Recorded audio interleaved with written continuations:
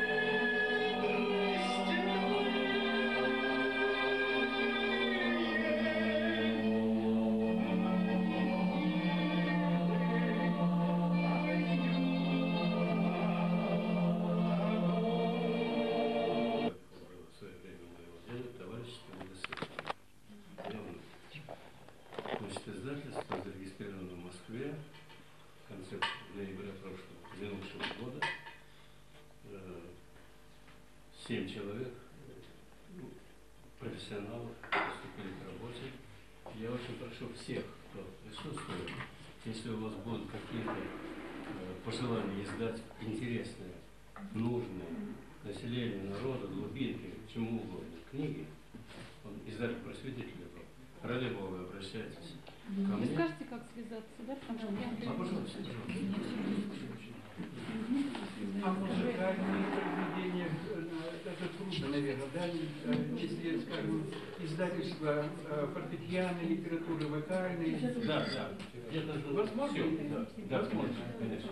так это было очень нужное сотрудничество, как сказать. Так что, пожалуйста, да, я специально обращаюсь ко всем для того, чтобы вот Костром, Костромичи, вот первые откликнулись э, чтобы вот использовать издательство для просветительских целей вообще российского народа, русских и так далее. Вот к вашему сведению, э, просто вот э, я хочу обратить внимание на опыт. Вот кто издавал Мусорского, Глинку, Бородина, Чайковского? Ну, правда, здесь у нас были издательства Юргенсона, э, и... но появился Беляев, Беляевский кружок. Беляев купил в Лейпциге издательство в центре Европы и стал э, издавать и продавать в центре Европы и Мусорского, и Глинку. Э, Значит, э, что сейчас после войны произошло? Э, Беляева размыли какие-то силы, не будем сейчас углубляться. Можно с вашего разрешения я закончу свое, свое А, извините. Да. А, а то я уж так очень слушаю, я сижу на партсобрании сейчас. Да, давайте-ка выпьем. а И, значит, дед действительно не издавал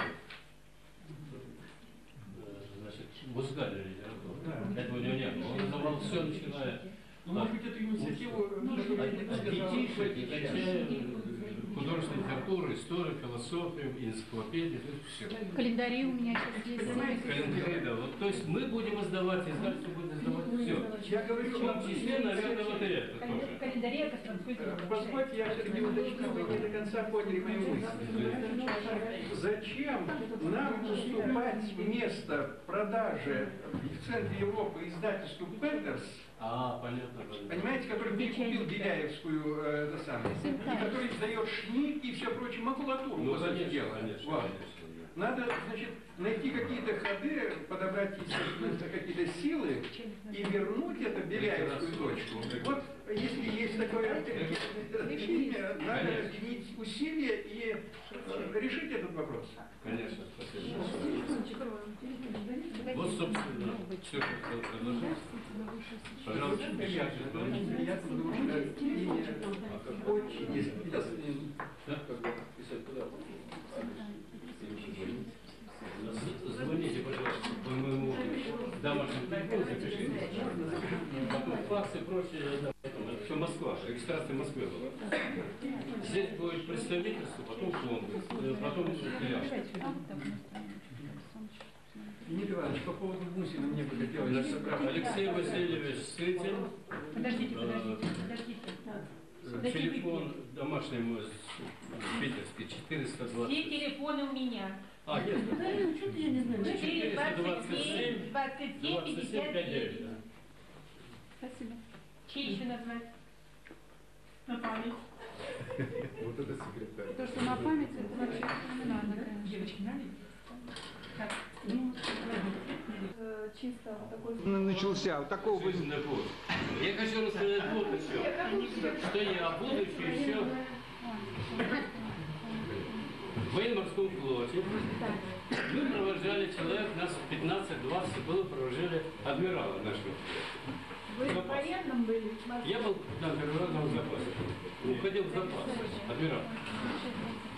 Собрались в ресторане, и, значит, человек 15 собралось так.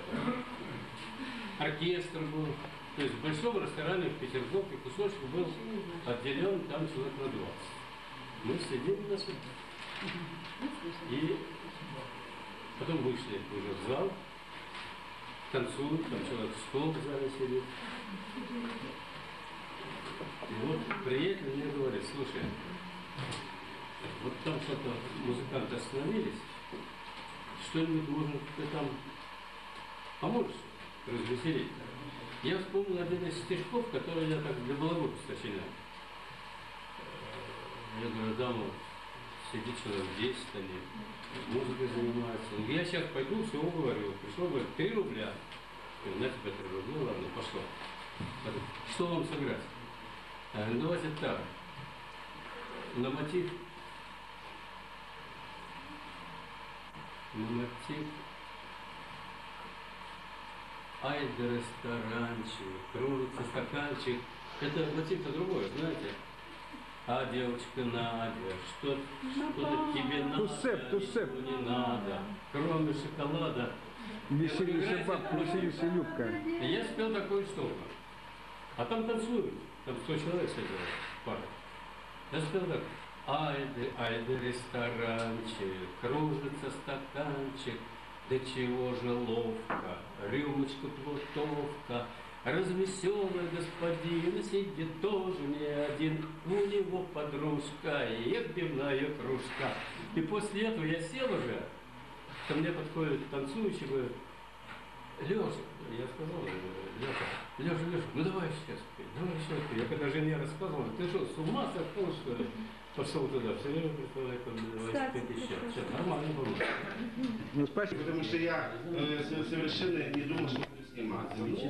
Так получилось совершенно случайно через э, такой э, Аникин Михаил Петрович, может быть, Владимир Павлович его знал, Бабский театр в свое время, пел он в театре э, раньше. Э.